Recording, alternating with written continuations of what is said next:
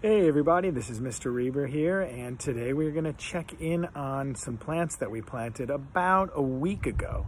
Uh, so in a previous video, you guys saw me plant some of these cool seed pods. We actually planted uh, the broccoli one together, um, but then after, uh, after I did that, we planted uh, a bunch of other seeds and put them in this cool little seed box. We're actually gonna watch as we open them up and we'll see.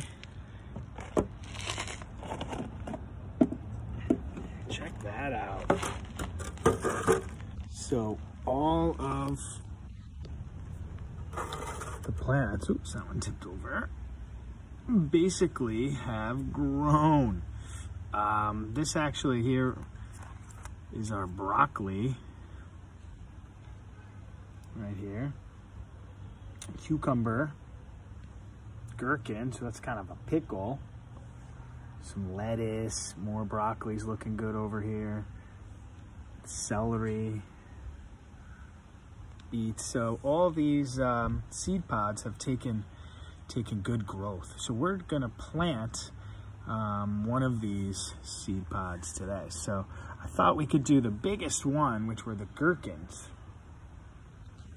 So the gherkins are, um, again, a type of a pickle. So what we're gonna do is take this cool planter bag here that we have.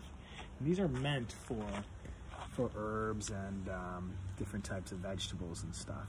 So let's see if I can put the video.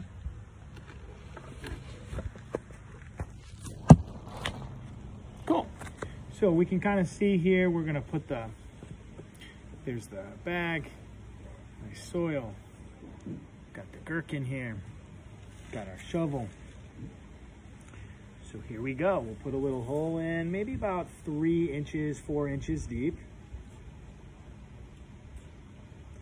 Okay, so before the video, I actually watered the soil a little bit, so made it a little bit damp. So then we'll water it again after we plant it. So again, got about a three or four inch deep hole here. We're gonna just put the whole, oh, that's so cool. You see there's actually some roots growing out underneath.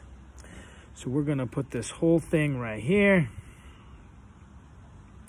We're actually going to bury it. We can use the shovel.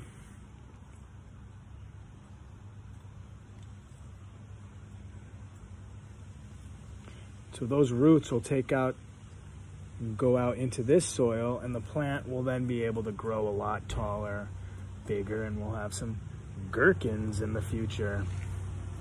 So put the little sign in. And there you go. So again, look at all of these. Mr. Rieber will be doing some planting today, some transplanting from the seeds now into the garden. Um, all right, so let's just do a little bit of watering. We got the little watering container. Water our gherkins a little bit. And there you go. This is Mr. Rieber saying I hope you guys can find your green thumb and um, keep in touch all. Have a wonderful day out there. Stay safe and be active and I will see you back here next time.